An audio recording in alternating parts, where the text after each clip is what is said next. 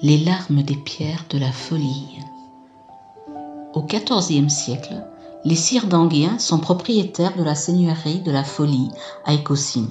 Anglebert d'Anguien habite les lieux, tandis que son frère Sigé occupe le château d'Anguien lorsque le duc Aubert de Bavière, régent du Hainaut, assiège la ville d'Anguien alors en rébellion contre lui. Sigère d'Anguien est fait prisonnier et est finalement décapité 21 mars 1364 sur ordre du duc.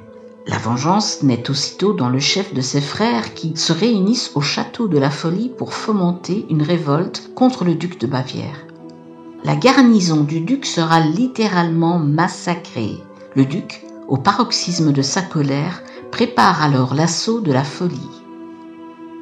Là-bas, Anglebert d'Anguien se tient prêt à tout, et sa fille Claude, âgée de 17 ans, le seconde.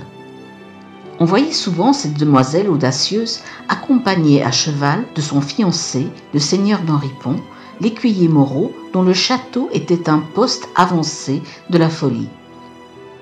Le 5 février 1367, les troupes d'Aubert passent à l'attaque de la folie.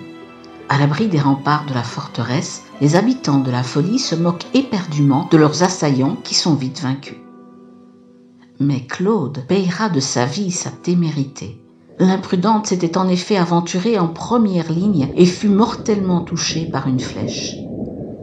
Bien triste victoire que celle de la folie sur le duc d'Aubert. L'écuyer Moreau, ayant appris le drame, se précipite au chevet de sa belle. Claude exhale son dernier soupir, la main dans celle de son amant. Lors de la cérémonie funèbre, les personnes présentes vont assister à un événement étrange. Ébahis, ils regardent les pierres des murs de la folie pleurer. Depuis cette époque, chaque année, au mois de février, les murs versent des larmes en souvenir de cette tragédie romanesque.